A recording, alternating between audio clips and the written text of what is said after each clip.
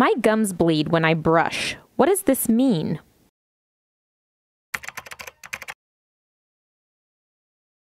Usually when your gums are bleeding when you brush, it's a sign of a local inflammation and infection in your mouth.